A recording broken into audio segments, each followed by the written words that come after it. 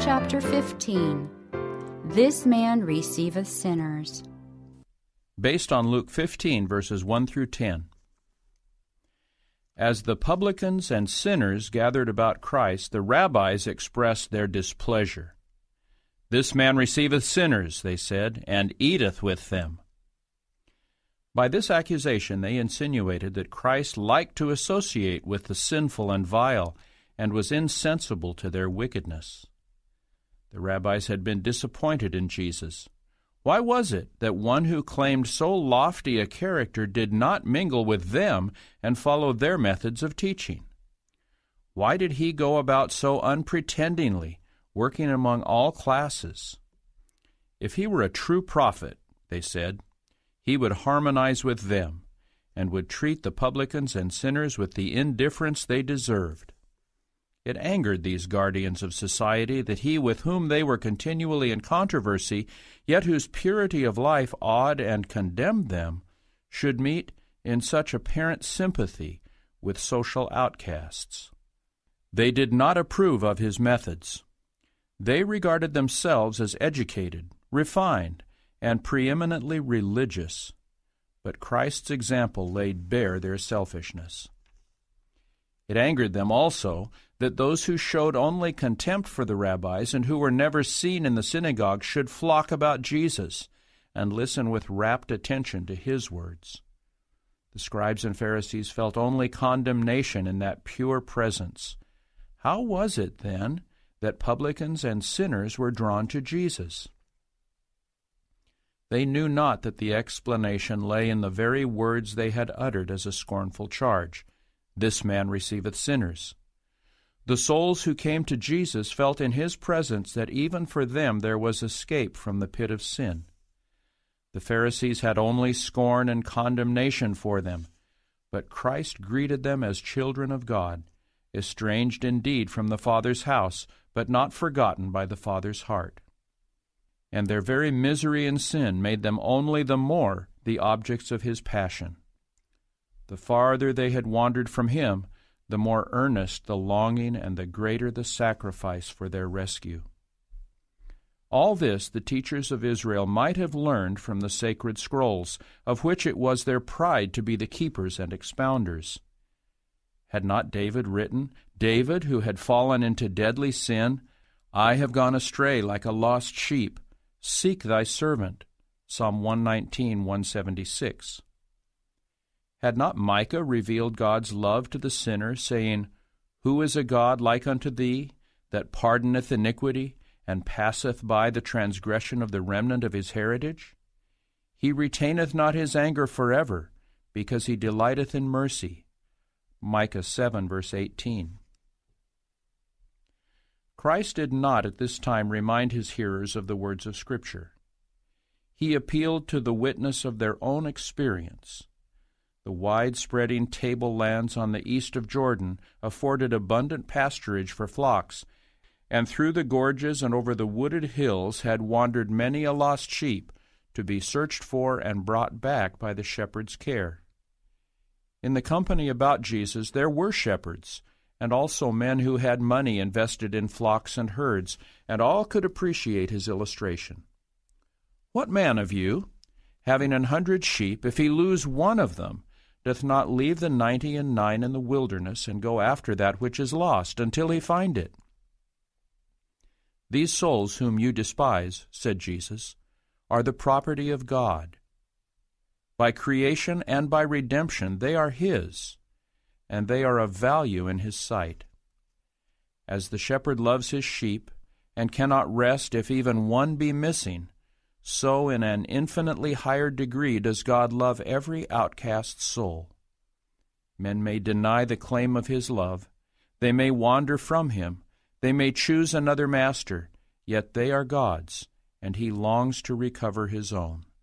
He says, as a shepherd seeketh out his flock in the day that he is among his sheep that are scattered, so will I seek out my sheep, and will deliver them out of all places where they have been scattered in the cloudy and dark day.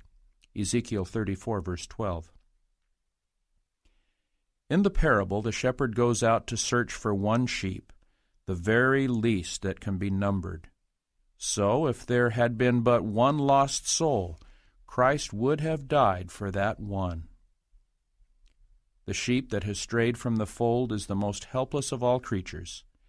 It must be sought for by the shepherd, for it cannot find its way back. So with the soul that has wandered away from God. He is as helpless as the lost sheep, and unless divine love had come to his rescue, he could never find his way to God.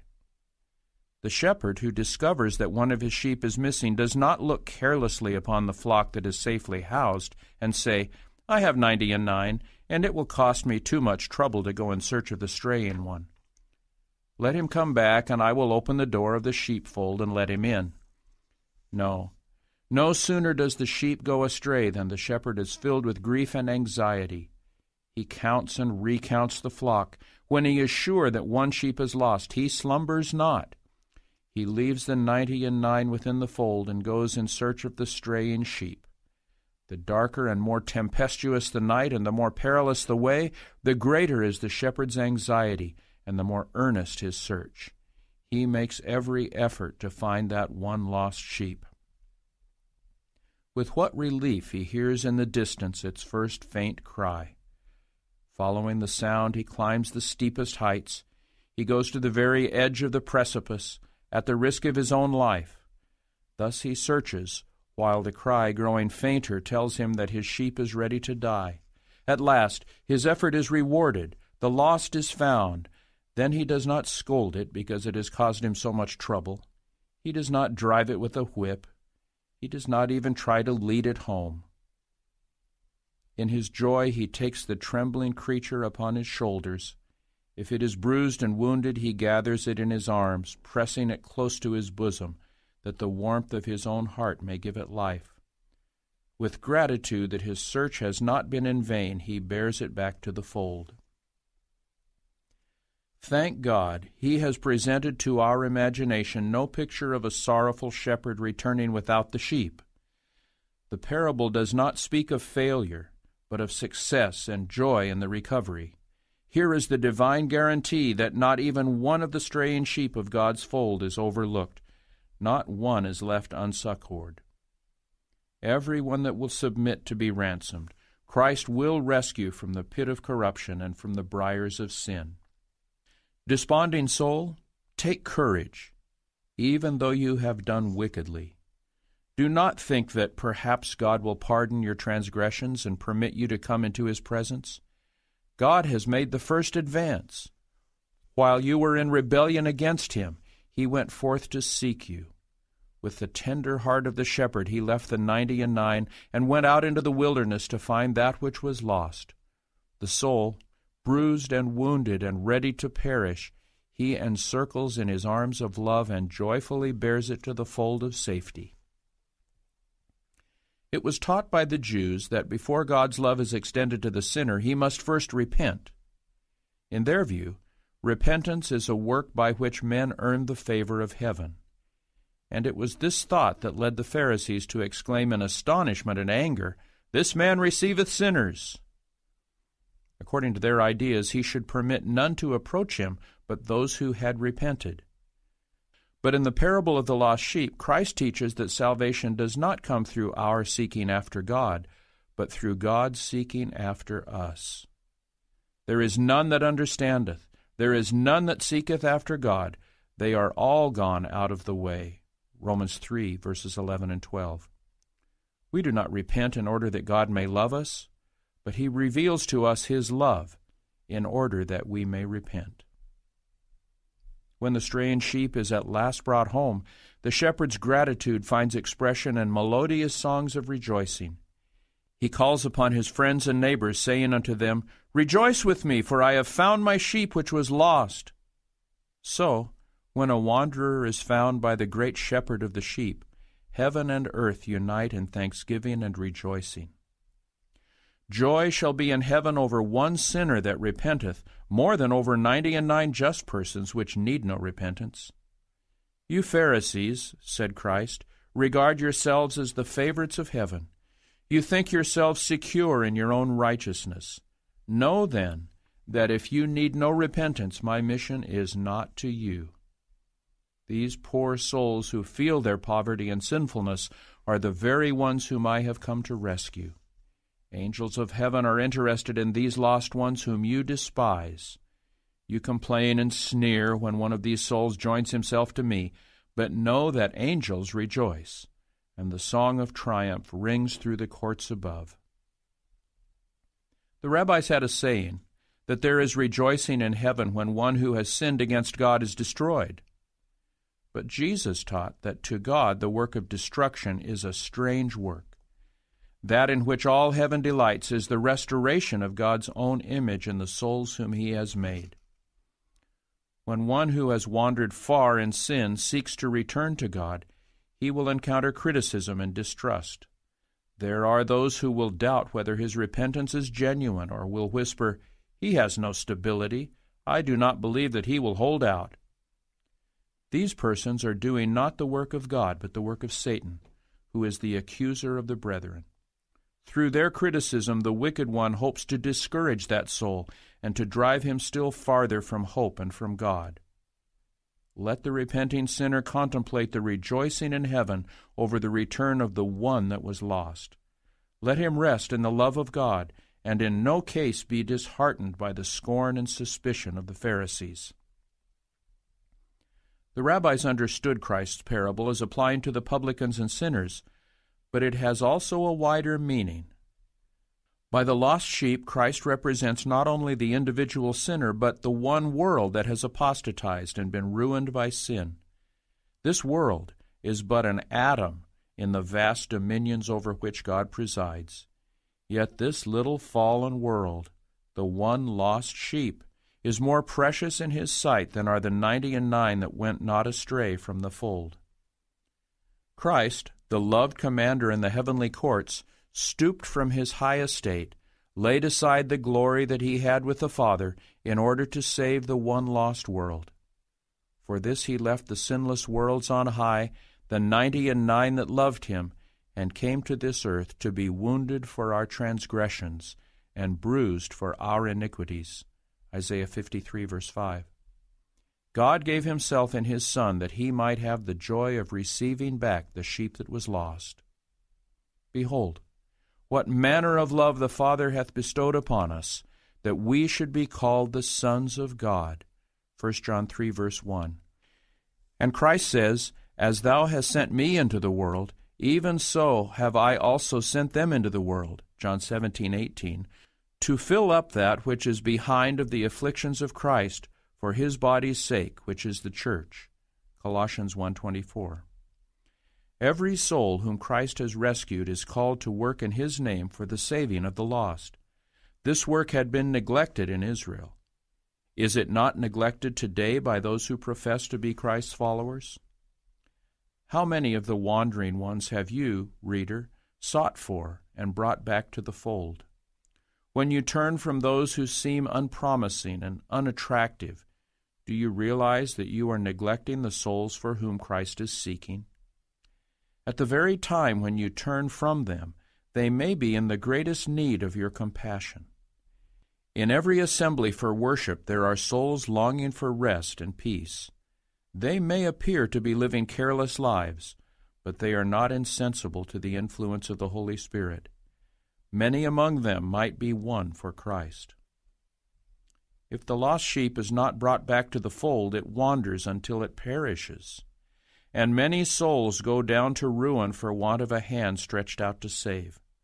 These erring ones may appear hard and reckless, but if they had received the same advantages that others have had, they might have revealed far more nobility of soul and greater talent for usefulness.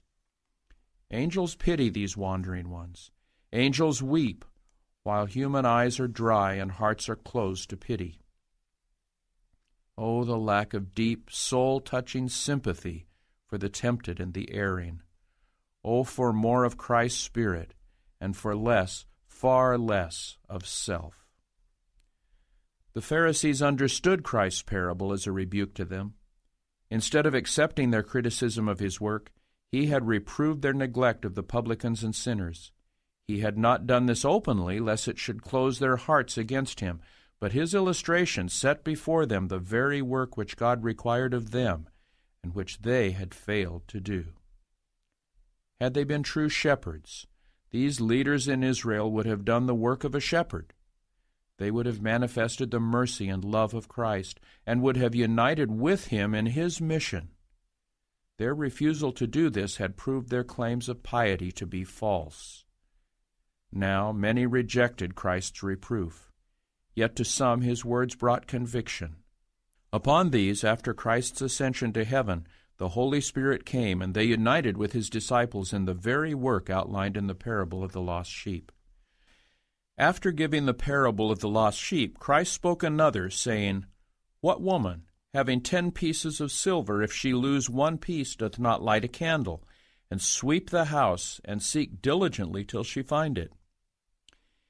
In the East, the houses of the poor usually consisted of but one room, often windowless and dark. The room was rarely swept, and a piece of money falling on the floor would be speedily covered by the dust and rubbish. In order that it might be found, even in the daytime, a candle must be lighted, and the house must be swept diligently. The wife's marriage portion usually consisted of pieces of money, which she carefully preserved as her most cherished possession, to be transmitted to her own daughters. The loss of one of these pieces would be regarded as a serious calamity, and its recovery would cause great rejoicing, in which the neighboring women would readily share. When she hath found it, Christ said, she calleth her friends and her neighbors together, saying, Rejoice with me, for I have found the piece which I had lost. Likewise I say unto you, there is joy in the presence of the angels of God over one sinner that repenteth. This parable, like the preceding, sets forth the loss of something which with proper search may be recovered, and that with great joy. But the two parables represent different classes. The lost sheep knows that it is lost. It has left the shepherd and the flock, and it cannot recover itself.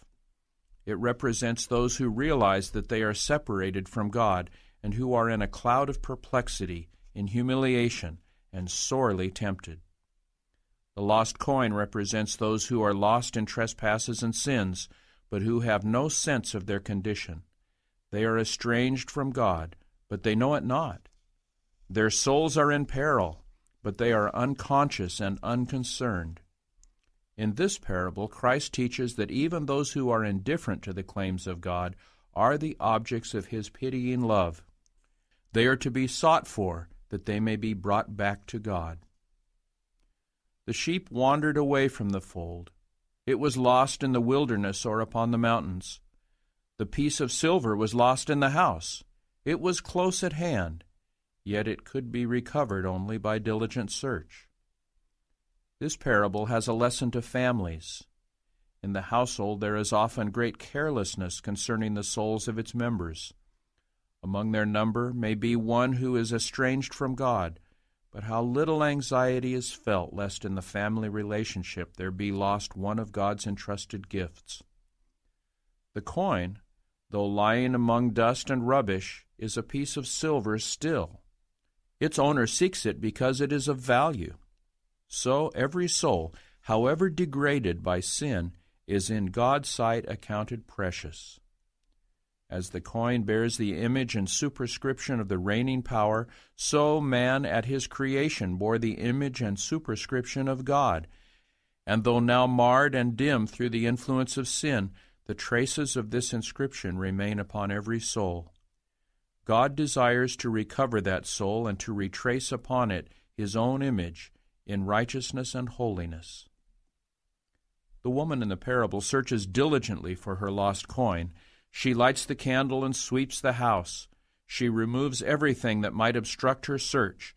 Though only one piece is lost, she will not cease her efforts until that piece is found. So, in the family, if one member is lost to God, every means should be used for his recovery. On the part of all the others, let there be diligent, careful self examination. Let the life practice be investigated. See if there is not some mistake, some error in management, by which that soul is confirmed in impenitence. If there is in the family one child who is unconscious of his sinful state, parents should not rest. Let the candle be lighted. Search the Word of God, and by its light let everything in the home be diligently examined to see why this child is lost. Let parents search their own hearts, examine their habits and practices. Children are the heritage of the Lord, and we are answerable to Him for our management of His property. There are fathers and mothers who long to labor in some foreign mission field. There are many who are active in Christian work outside the home, while their own children are strangers to the Savior and His love. The work of winning their children for Christ many parents trust to the minister or the Sabbath school teacher, but in doing this, they are neglecting their own God given responsibility. The education and training of their children to be Christians is the highest service that parents can render to God. It is a work that demands patient labor, a lifelong diligent and persevering effort. By a neglect of this trust, we prove ourselves unfaithful stewards. No excuse for such neglect will be accepted by God. But those who have been guilty of neglect are not to despair.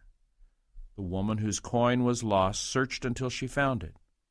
So, in love, faith, and prayer, let parents work for their households until with joy they can come to God, saying, Behold, I and the children whom the Lord hath given me.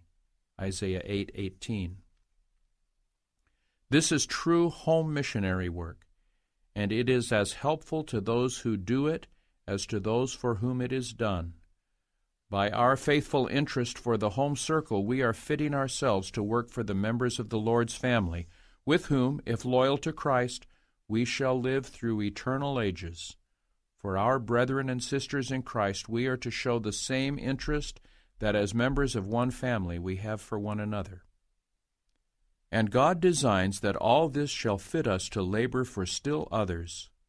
As our sympathies shall broaden and our love increase, we shall find everywhere a work to do. God's great human household embraces the world and none of its members are to be passed by with neglect. Wherever we may be, there the lost piece of silver awaits our search. Are we seeking for it? Day by day we meet with those who take no interest in religious things. We talk with them, we visit among them. Do we show an interest in their spiritual welfare?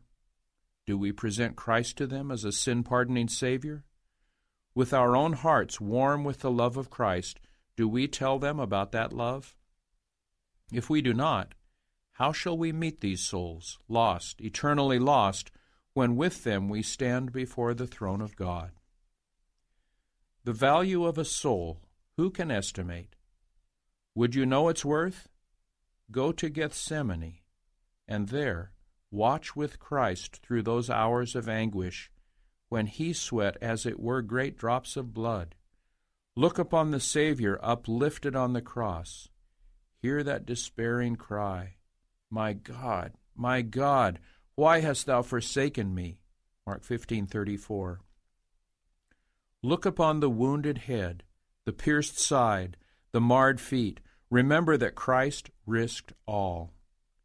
For our redemption, heaven itself was imperiled. At the foot of the cross, remembering that for one sinner Christ would have laid down his life, you may estimate the value of a soul. If you are in communion with Christ, you will place his estimate upon every human being. You will feel for others the same deep love that Christ has felt for you. Then you will be able to win, not drive, to attract, not repulse, those for whom he died. None would ever have been brought back to God if Christ had not made a personal effort for them. And it is by this personal work that we can rescue souls. When you see those who are going down to death, you will not rest in quiet indifference and ease.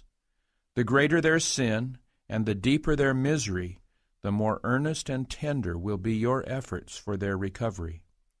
You will discern the need of those who are suffering who have been sinning against God and who are oppressed with a burden of guilt. Your heart will go out in sympathy for them, and you will reach out to them a helping hand. In the arms of your faith and love, you will bring them to Christ. You will watch over and encourage them, and your sympathy and confidence will make it hard for them to fall from their steadfastness. In this work, all the angels of heaven are ready to cooperate. All the resources of heaven are at the command of those who are seeking to save the lost. Angels will help you to reach the most careless and the most hardened. And when one is brought back to God, all heaven is made glad. Seraphs and cherubs touch their golden harps and sing praises to God and the Lamb for their mercy and loving kindness to the children of men.